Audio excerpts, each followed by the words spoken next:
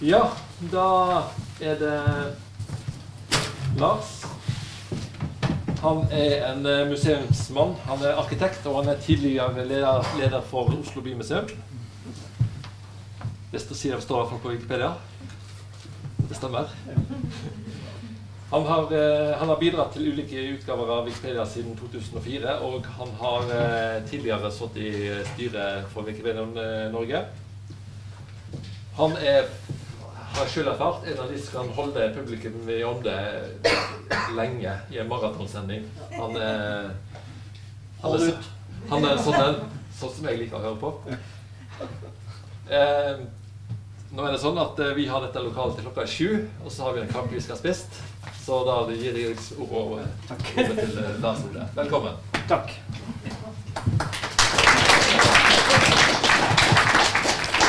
Bare et lite spørsmål først. Eh, Er det rabatt for pensjonister også, sånn som for studenter? Ja, gudskjelov. Takk. Ja, jeg er der. Eh, Jeg, takk for at jeg ble buden her. Dette er jo en forsamling jeg er veldig glad i å være med i. Denne klubben. Den, jeg er begeistret for Wikipedia. Jeg er blitt invitert til å øh, snakke om øh, Eller jeg forstår invitasjonen slik at jeg skal snakke om hva Wikipedia betyr for mitt fagfelt, og hva som skal til for å gjøre Wikipedia bedre på det fagfeltet. Jeg har som sagt brukt mye tid på dette. Eh, Jeg har brukt faktisk også mye av min arbeidsgivers tid. Det er også en vesentlig ting som jeg må innrømme her og nå. Det startet i 2004. Da ble jeg hekta på Wikipedia etter å ha holdt på i en del år. Og hver gang jeg googlet etter informasjon om noe jeg arbeidet med og skrev om eller lurte på, så dukket det stadig oftere opp en, en nettside som het Wikipedia, som jeg var litt skeptisk til. Hva var noe dette? Var det egentlig et nettsted for pedofile, eller noe sånt? Nå, jeg, jeg holdt meg litt unna. og så Eller det var et irritasjonsmoment en stund. Så jeg hoppet over det. Men så oppdaget jeg at det var et slags leksikon. Der skjønte jeg, skjønte jeg det med, med pedia-endelsen, at det var det sto for. Encyklopedi. Og så var det jo svært ofte at jeg søkte på stoff på emner som jeg allerede visste en del om. ikke sant? Jeg skulle bare f.eks. sjekke noen årstall og sånne ting. Og så ser jeg at av og til er det i de feltene hvor jeg kan mye, der ser jeg at den artikkelen er faktisk nokså mangelfull. Her mangler det en del. Det er en del feil, og det kunne vært sagt mer. Og så var det ofte dårlig skrevet. Det var syntaktiske feil og kommafeil og mye mer. Og så oppdaget jeg at det var lov å skrive selv. Og at feil man gjorde, ikke var uopprettelig, og, man, og at man ikke kunne komme til å ødelegge noe sånn at det ble borte for alltid. Det var jeg kjemperedd for til å begynne med. At hvis jeg begynte å redigere, så kanskje jeg ødela artikkelen sånn at det var ødelagt for alltid. Og da, dette var mitt Damaskus. Da så jeg lyset, og siden har jeg fulgt det. Min reaksjon var altså ikke den som mange andre i de akademiske kretser valgte, å konkludere foraktfullt at Wikipedia er eh, et blindspor som man burde unngå, med tynne artikler fulle av feil. Jeg så at nettstedet inviterte til å bidra, og at teknikken ikke var vanskeligere enn at jeg kunne mestre den. Så istedenfor å forkaste, valgte jeg å forbedre. Og det er den, eh, den oppfordringen jeg hele tiden siden har hatt til mine kolleger og venner i, så ofte jeg ser dem, at bidra selv, ikke vær kritiske. Gå løs, og klart det er fullt av feil på Wikipedia. Alt er feil overalt. Men der er det faktisk lett å forbedre dem, i motsetning til i et trygt leksikon. Jeg har forsøkt å finne min første redigering, og jeg tror det var i mai 2004 på artikkelen om binders. Siden ble det flere for IP-adressene med elleve sifre, som jeg ikke skal sitere her. Etter en tid så fikk jeg en hyggelig e-post eh, om at jeg burde registrere meg og bli såkalt bruker. Og så var jeg fanget inn. Jeg for øvrig vil gjerne diskutere begrepet bruker. Jeg syns det er egentlig litt feil. Jeg syns bidragsyter hadde vært bedre. For brukere er jo de som leser, men vi som skriver er jo noe mer enn bare brukere. Det, jeg lurer på hvorfor det er sånn.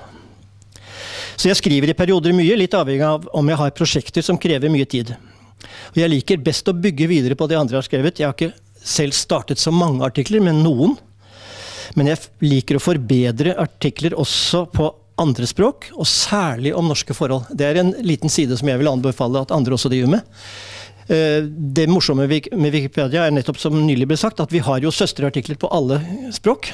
Og eh, noen av dem kan vi også lese. Og Det er f.eks. svensk, dansk, og engelsk, og tysk og fransk og den slags. Og der er det ganske interessant at informasjonen om Norge er ofte ganske mangelfull. Det har irritert meg en del. Eh, F.eks. på artikler om norsk historie så henter eh, utlendingene som skriver, som regel sitt stoff fra kilder som er skrevet ut fra en eurosentrisk, eller til og med skandinavosentrisk eh, ståsted. Altså Det er ofte danske og svenske informasjonskilder som egentlig er opphavet. Og det betyr at Norge, som i 400 år ikke var noen stat, ikke finnes i verdenshistorien. Og det betyr at altså, eh, i, når det skrives om krigene i Europa på 1600-, 1700- og 1800-tallet, så er det kriger mellom Danmark og Sverige her oppe i Norden. Aldri Norge som er med. Altså, det var mye sånn. Det har etter hvert blitt, blitt bedre. Det der irriterte meg. og jeg har eh, systematisk jobbet mye med den slags eh, korreksjoner på andre språk. Det syns jeg også andre burde drive med hvis de har tid. Det tar mye tid. Etter hvert er jeg blitt mer og mer imponert over den store dugnaden. Og som gammel eh, tilhenger av folkeopplysning, så fikk jeg altså lyst til å bidra. Og eh, det ble ganske mange etter hvert. Jeg skal ikke trette dere med eh, antallet redigeringer som jeg kikket på i går, på en statistikk som det går an å finne. Det, det, imponerer meg. Jeg vet ikke om det imponerer dere, for det er mange her som har skrevet ti ganger så mange artikler. Så jeg skal ikke ta det. Men jeg kanskje skriver mer enn de fleste på utenlandske språk. Jeg har skrevet 118 eh, Nei, 1355 på engelsk, 126 på svensk, 75 på dansk, 73 på tysk, 78 på fransk og en god del på italiensk og spansk. Og Det handler jo mye om å rette bare små faktafeil, og da er det ikke så vanskelig at jeg ikke kan perfekt spansk og italiensk. Jeg kan nok til å kunne få eh, informasjonen eh, korrekt. Og det står som regel bra. Uh, og så har jeg lagt ut en god del bilder på den store allmenningen Commons. Uh, og som sagt, Hvis dette høres voldsomt ut, så, uh, så, er det jo mange her i forsamlingen og i det hele tatt i, på, i vår uh, krets som har gjort uendelig mye mer. Det som imponerer meg, er et tilsynelatende anarki som likevel er selvregulerende, selvreparerende og selvforbedrende. Det er det fabelaktige med. Og som vokser eksponentielt, og på alle språk og har muligheten til å nærme seg det uoppnåelige mål som jeg tror Jimmy Wales hadde en gang. Å samle all verdens kunnskap på en måte som gjør den tilgjengelig for hele menneskeheten. Det er storartet. La oss holde fast på det. Store ord. Men altså de ordene du, de, den statistikken du siterte, uh, Hogne, først, de, de taler veldig for at vi nærmer oss det målet. Snart har vi all verdens kunnskap, tror jeg. Hva, men hva betyr så Wikipedia for mitt fagfelt? Og så må jeg falle ned til leptonoren. Ikke nok, og ikke så mye som dugnaden har potensial til å bety. For fagfeltet er for øvrig bredt. Altså, jeg er jo i utgangspunktet arkitekt. Men jeg har blitt eh, i løpet av mitt yrkesliv mer arkitekturhistoriker. Og jeg eh, jobber med byggeskikk, kulturminnevern, og i forlengelsen av det. Og derfra eh, er jeg kommet over i museologi og generell kulturhistorie og historie. Og så har jeg noen skikkelig nerdete sidesjangere som nesten ingen av dere har hørt om. F.eks. veksilologi. slå det opp på Wikipedia hvis dere ikke vet hva det er. Og heraldikk. Det er det litt mer alminnelige. Der har jeg bidratt mye. Eh, når det gjelder arkitektur, byggeskikk og byggeteknikk, som altså er kjernefeltene for meg, så er jeg bedrøvet over å fortelle at det her er langt igjen til et adekvat nivå på artiklene i Wikipedia. Det er mye ganske dårlig der. Jeg har forsøkt å bidra, men det er litt tidkrevende å gå løs på artikler som både språklig og innholdsmessig er for dårlige i utgangspunktet. For mange emner er det nødvendig å starte helt på nytt, og jeg har vært for doven og lat til å alltid ta meg tid til å gjøre det, altså. Men noen gjør jeg. Jeg har begynt på revisjon av mange og fått luket ut de verste misforståelsene, men det hender at jeg må prioritere jobben foran dette. Når jeg blir pensjonist for alvor, så lover jeg å gyve løs på dette feltet for alvor. Min dårlige samvittighet på dette feltet blir stadig oppmuntret av mitt superego, som heter Kjersti Li, og jobber i Trondheim. Hun er fabelaktig. Hun og hennes kolleger i arkitekturbibliotekene er jo drivkrefter og har fått til en voldsom forbedring på artikler om arkitektur, som en gang var riktig dårlige på norsk, og som etter hvert er blitt bedre. Jeg har lovet henne å bidra. Og jeg har lovet henne mye og skuffet henne mye. Men nå skal jeg snart ta meg sammen. Bare jeg blir ferdig med denne boken som, jeg, som skal komme ut i høst. Hører du alt dette her, Kjersti?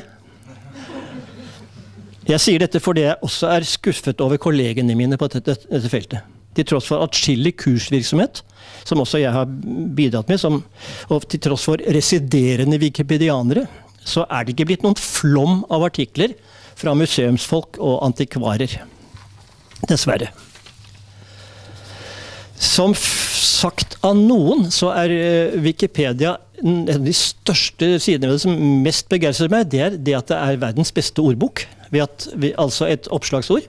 Det har eh, alle de andre språkene man kan tenke seg å undersøke på siden. Og så er det bare med et klikk, så er man på.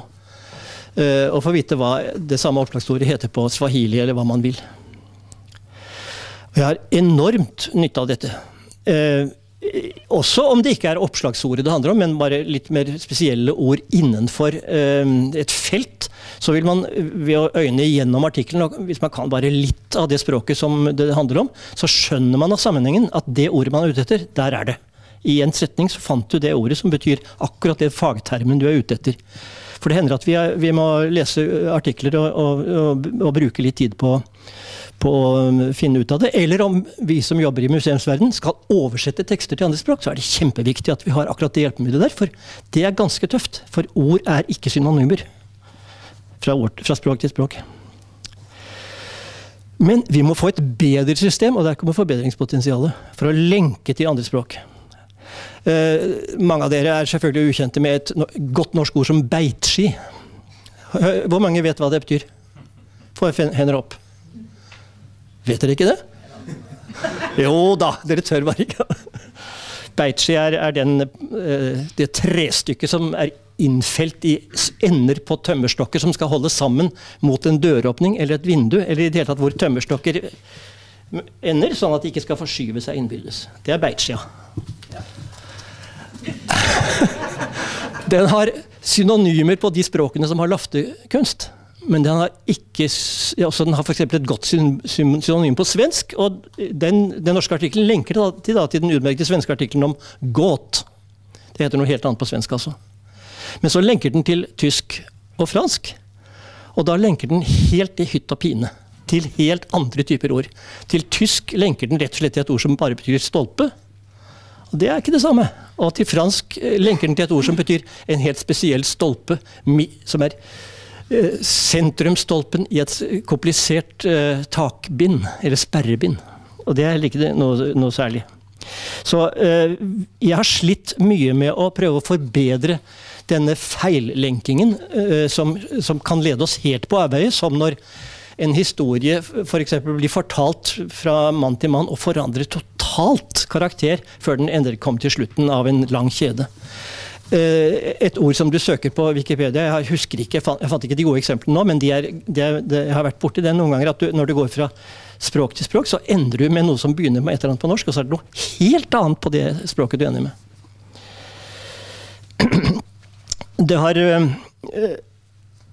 jeg har måttet slite med dette, og jeg får det ikke til. Og jeg tror det er en jobb for norske Wikimedia kanskje å prøve å anspore folkene der borte i California til å lage et system som er litt mer åpent for å foreslå sånne forandringer. For jeg møter en mur som jeg tror kanskje er en robot, eller noe sånt, som avviser mine forslag på forandringer der. Det har vært veldig interessant å følge kappestriden mellom Wikipedia og digitale, store norske leksikon, hvor jeg for øvrig også er redaktør. Og det er jo ålreit. Eller fagansvarlig, heter det. Wikipedia kommer til å vinne kappestriden. For det er innlysende for andre enn såkalte fagfolk å skrive der. Det er lav terskel, og du får gleden av å se resultatet av din skrivekunst på skjermen umiddelbart. Og så er det det at artiklene alltid er oppdatert. En biografi vil eh, i det øyeblikk noen f.eks. dør, så vil dødsåret komme. Det kommer ikke så automatisk, i, i hvert fall ikke i trykte eh, leksika. Og, og, jeg tror ikke på Store norske så fort som det kommer på Wikipedia. Det kommer med én gang. Den akademiske verden fnøs av Wikipedia for fem år siden, og Store norske fikk pengestøtte fordi det skulle være så mye mer pålitelig, siden det var skrevet av de fremste fagfolk på sine felter. Og ja, noen artikler er bedre, kanskje særlig biografier, som har utgangspunkt i det gamle eh, norsk biografisk leksikon. Og da kan vi glede oss over at Wikipedia forbedrer sine biografier hele tiden ved å låne derfra. Det er fint. Vi blir også gode der. Eh, men eh, Store norske er ikke bedre enn at siste utgave av Biografisk leksikon for 2005, og dermed også Store norske, klarte å utnevne Johan Våler fra Aurskog til oppfinner av bindersen. Norges fremste bidrag til verdens teknologi. Det er bare en seiglivet myte, og både norsk og engelsk Wikipedia visste det allerede 11. mai 2004. Poenget med å nevne dette er at den uanselige bindersen eh, representerer en type kunnskap som ikke verdsettes særlig høyt i, i akademia lenger. Ingen i Norge hadde forsket på dette emnet, og derfor ble myten om bindersens norskhet gjentatt og gjentatt som styrkemiddel for vår norske selvfølelse. Fordi det bare er folk der nede på grasrota, det som noen her har kalt avvikerne, som interesserer seg for så uvesentlige fenomener så er det bare et leksikon skrevet av folk med sære interesser og, og som avvikere, som kan levere god folkeopplysning om binders. Av den grunn er mange artikler i Wikipedia som får tilsig fra avvikerne nede i de dype skogene og ensomme øyene og de fjerne avkrokene, om emner som akademikere aldri fordyper seg i. Jeg tar som eksempel Krag Jørgensen-geværet. Typisk mannsartikkel for øvrig. Uh, hvor lang er den på Store norske leksikon? 510 tegn.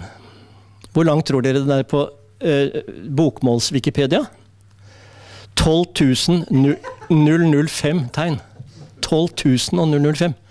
Og enda verre, på engelsk, eller da antagelig amerikansk, siden det var armégevær i den amerikanske her en gang også. 50 724 tegn. Så det er en kunnskapsmengde der ute. Og så kan man diskutere hvor relevant er det at det fyller et leksikon.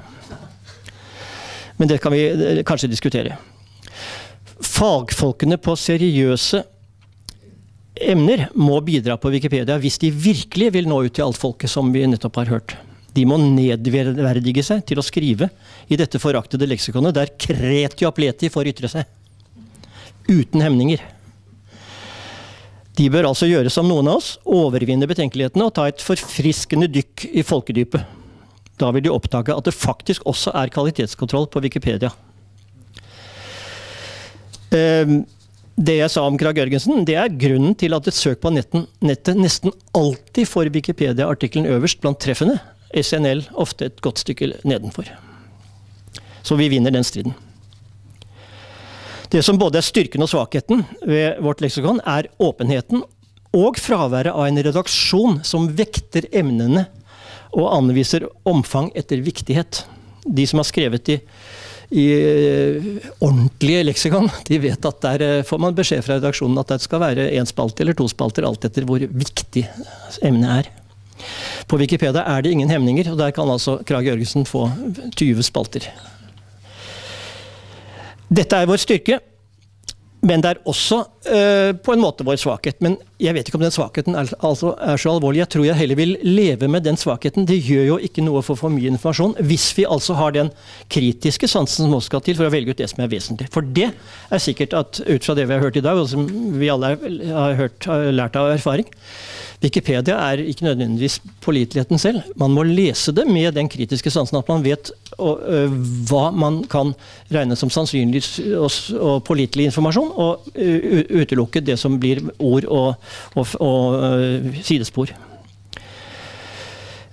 vår styrke er altså at vi vil vokse til alle som vet noe, har delt kunnskapen sin med Wikipedia.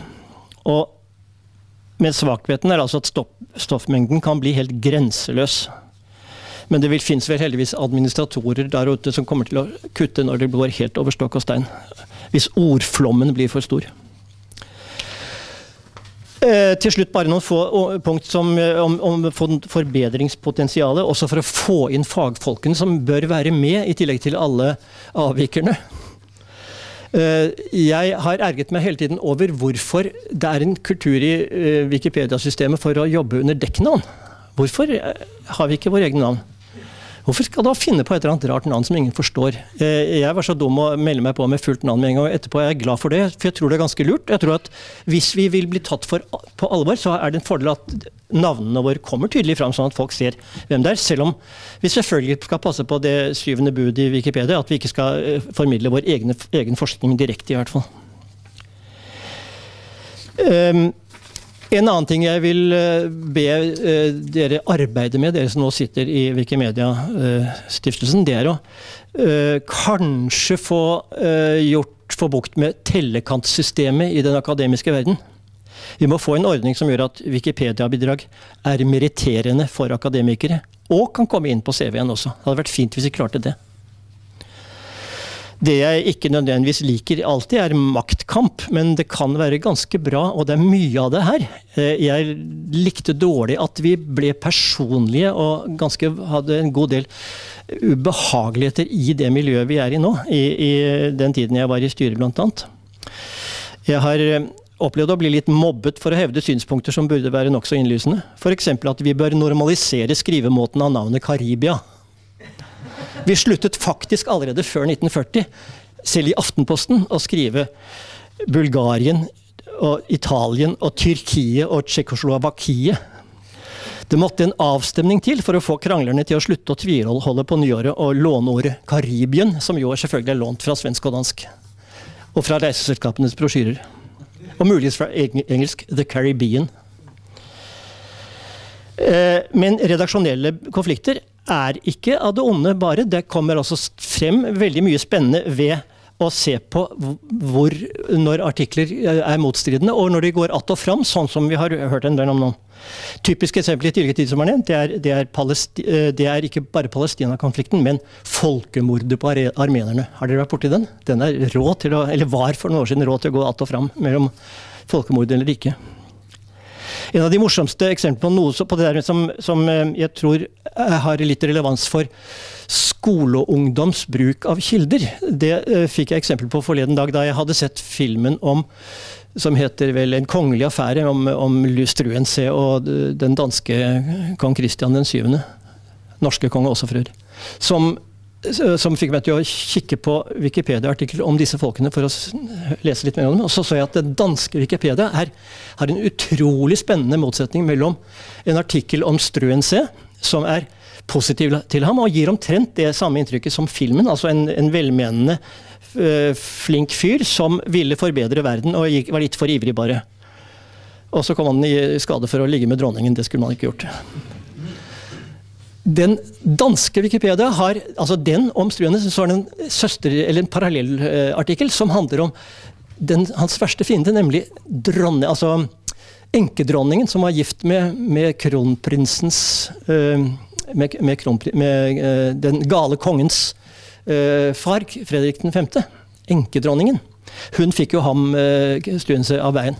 Og den artikkelen er tydeligvis skrevet av folk som har brukt eldre danske historiebøker, som er veldig positive til eh, dronningens eh, innbitte kamp for å bli kvitt denne eh, forferdelige Struense, som var en diktator og gjorde så mye galt og ødela så mye for det danske samfunnet. Den er ganske interessant. Så hvis danske skolebarn skal skrive om et emne som dette, som kanskje er aktuelt, særlig for dem, så er det interessant at de der hvis de går til dansk Wikipedia, vil måtte forholde seg til to kilder som sier veldig motsatte ting, og begynne å måtte velge. Det er bra for dem at de ser konfliktstoff i det historiske.